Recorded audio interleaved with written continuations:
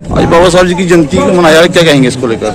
आज हम पूरे कुटुआ वासियों को बहुजन समाज पार्टी की तरफ़ से, आज हम कुटुआ वासियों को बहुजन समाज पार्टी की तरफ़ से बाबा साहब की जयंती पे बहुत बहुत बधाई देते हैं और आशा करते हैं कि जो बाबा साहब के बताए हुए रास्ते हैं, सब लोग उस पर चलने की कोशिश करेंगे और प्रयास करेंगे। बहुजन समाज पार्टी और बहन कुमारी मायावती की जो नीतियाँ हैं, वो हमेशा शिक्षा पर ही निर्भर रही हैं, क्योंकि हमारी बहुजन समाज पार्टी की ये सोच है कि जब तक हमारे लोग शिक्षित नहीं होंगे, तब तक तब तक उनका भला होने वाला नहीं है, क्योंकि और जो है वो खासकर जो है वो दलित और गरीब समाज में पाई जाती है।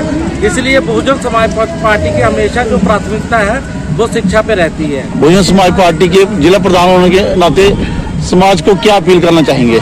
मैं बहुजन समाज पार्टी का डिस्ट्रिक्ट प्रेसिडेंट होने के नाते मैं तमाम कठुआ वासियों को उनके आगे हाथ जोड़ के अपील करता हूँ कि आओ अपने बहुजन समाज पार्टी की जो मूवमेंट है उसके साथ जुड़ो और बहुजन समाज पार्टी को जो कारवा है जो मजोत्रा साहब ने चलाया था कठुआ में उसको आगे बढ़ाओ ताकि आने वाले जो इलेक्शंस हैं ये साल आपको पता है पूरा इलेक्शन से भरा हुआ है।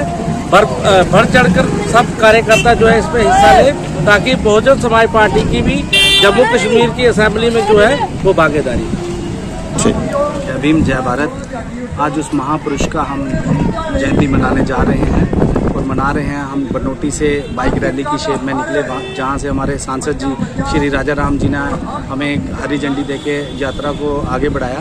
तो साथियों, आज जैसे चुनावी माहौल चल रहा है, बाबा साहब का यही कहना था, आज हमारी बहनें, माताएँ अगर हमारे साथ कंधे के साथ कंधा मिला के चल रही हैं तो ये बाबा साहब की देन है। आज हम सब लोग इकट्ठे होके आज हर मंत्री, हर संतरी हमारे लोगों के पास बैठा हुआ है तो ये बाबा साहब की देन है, क्योंकि बाबा साहब ने हमें वोट डालने का हक, हकूक दिया।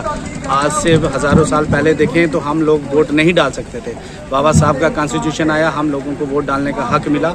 आज मैं सबसे अपील करना चाहूँगा, सब लोगों से अपील करना चाहूँगा कि जो पार्टी बाबा साहब के नक्शे कदम पे चल रही है, जैसे बहुजन समाज पार्टी जो है, विचारधारा बाबा साहब की लेके, कांशीराम साहब की विचारधारा लेके, बहन कुमारी मायावती जी आगे चल रही हैं। मैं आप सबसे दरख्वास्त करता हूँ कि उनके नक्शे कदम पे चल के आने वाले समय में बहुजन समाज पार्टी को भारी बहुमतों से मत डाल के विजयी बनाए। हमारा कैंडिडेट अमित भगत जी जो किश्तवाड़ से हैं और जन जन की आवाज़ बन चुके हैं।